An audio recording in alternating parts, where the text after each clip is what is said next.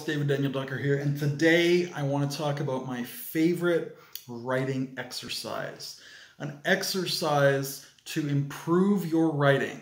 I think this exercise improves your skill set and your writing uh, almost better than anything else, any other exercise. Now, what will improve your writing the most is, you know, reading a lot, different authors, good authors is studying the craft, is uh, writing a lot, practicing, and practicing editing and rewriting and revising and dev edits and line edits.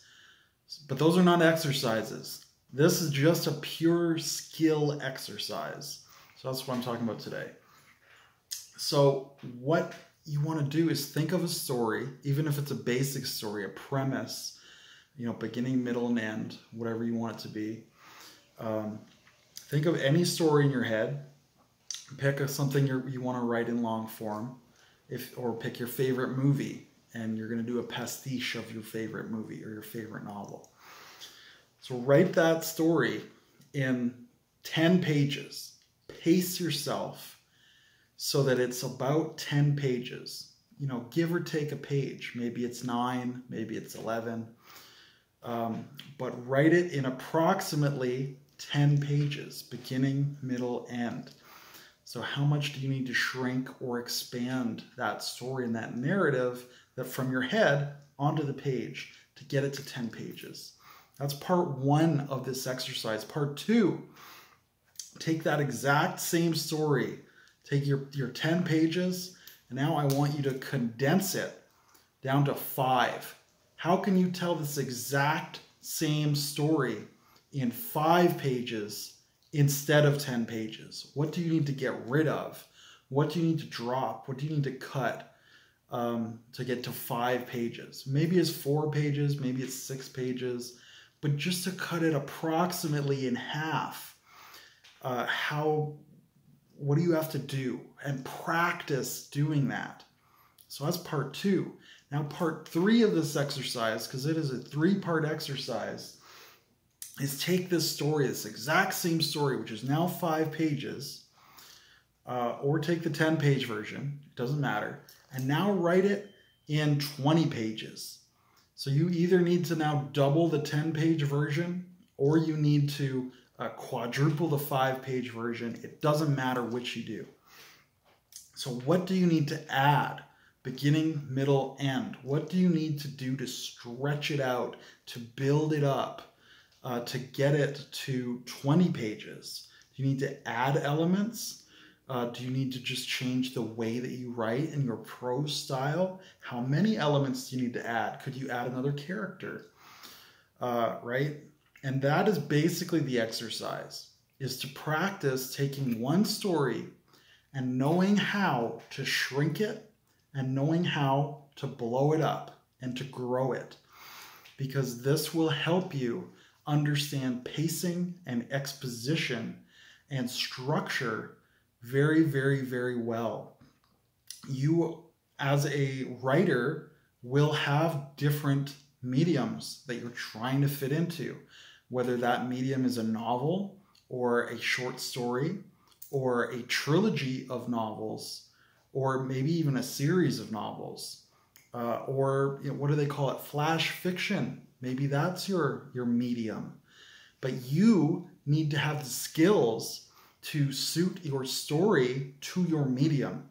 You need to know how to write an outline and to write a story that will be a novel or that will be a short story. And you know how long it's going to be before you start.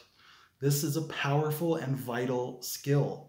And you also uh, should have that ability to change on the fly as you're going. You know, if you write draft one and you end up overwriting it by 200%, and you're like, well, I thought it would be um, 80,000 words, and it's actually uh, 160,000 words. So if you have this skill, you can revise and go back and shrink it very easily. And you can salvage that story without pulling your hair out and having a nervous breakdown. Um, because when you have to cut 80,000 words, that's not the time to learn this skill. You want to learn this skill now so that when you have a problem like that, it's an easy fix or an easier fix, right? And, and it's the same the other way. You know, if you think you have a novel and um, you end up writing a novella and it's only 40,000 words, and you're like, well, gosh, you know, I need 80,000 words and I've only written 40,000 words. And um, how do I handle that? If you understand structure, it's easy. You can say, I need to expand Act One, I need to expand Act Three, I need to expand Act Two. How do I do each of those things? How do I add exposition? How do I add subplots? How do I add characters? Uh, without losing quality, how do I bulk it out? Because you don't want filler, you want more content. Uh, and just like in uh, in the other case, when you're shrinking it, you don't want to rush your pacing. You don't want to say, well, I need it smaller, so I'll make it faster paced. You could do that. That could be the solution, but it could not be the solution because there's such a thing as too fast of a pacing. Just like there's definitely such a thing as too slow of a pacing. I have read novels that should have been short stories, and I hated it. Uh, and I've, I've read novels that should have been a trilogy of novels. And I, I like, I kind of like that actually, but it's not always appropriate. Not everybody will, not every publisher will. Right? Just like I've read short stories that could easily be stretched into novels. Easily. I could do it. Um, and I've read short stories that were way too fast and they should have been a novel because it's it's just chopped and slammed and crammed and squeezed and until it's no good. It's just no good anymore. Um, if if they had taken their time and made it a novel, then it probably could have been good, right? But their job wasn't to write a novel. Their job was to write a short story, so they failed. Uh, and I don't want you to fail.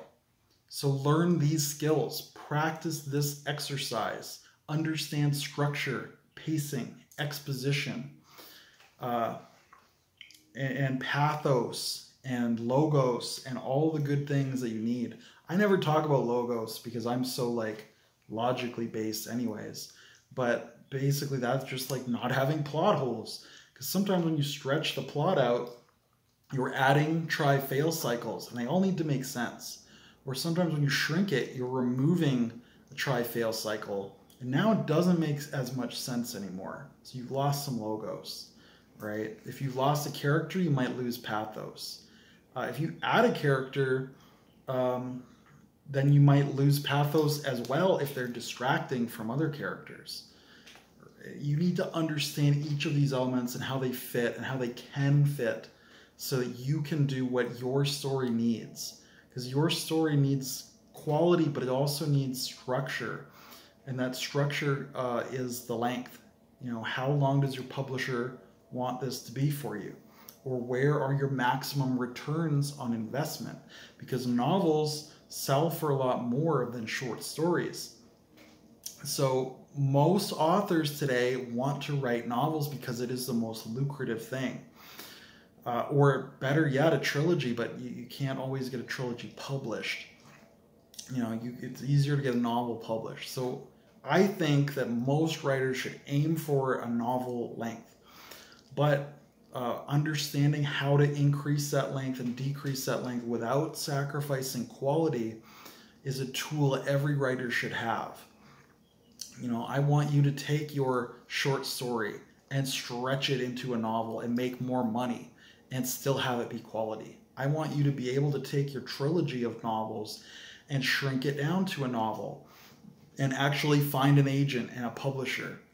So uh, do this exercise it will save you. It will help you because then, uh, as I said, when you're in the middle of a project and you need this skill, you won't have to learn the skill the hard way because you took an hour and invested in your skills before you got to a crisis point. So do that, do this exercise, write the same story at three different lengths five pages, 10 pages, 20 pages. uh, and, and see if it does not help you improve. Uh, and of course, as I said, reading and studying how to write and the craft of writing, and also practicing writing and editing and drafting and dev editing and line editing. Those are the three things that will improve your skill set. Uh, probably the most, but this exercise uh, I think deserves honorable mention. That's why I'm doing its own video. This should be my number one video. If, if nobody watches any other videos, watch this video because I think this exercise is gold. So in the comments below, what's your favorite writing exercise? And what do you think of this one that I just outlined? Shoot me that, uh, perhaps as a video response. And until I see you again, it's David Daniel Ducker signing off.